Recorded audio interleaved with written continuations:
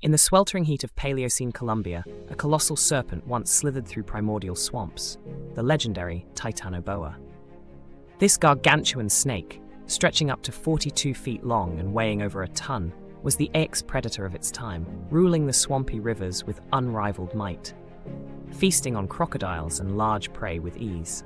These incredible giants thrived in a warm, humid environment, their fossils offering a glimpse into a world transformed post the dinosaurs' demise. An encounter with a Titanoboa today might resemble a scene from a horror movie, with stealthy motion in murky waters giving little warning before the sudden, powerful strike. Preserved fossils, found predominantly in the Cerrejón coal mines, tell the tale of their existence and eventual extinction due to climatic changes that cooled their tropical habitats.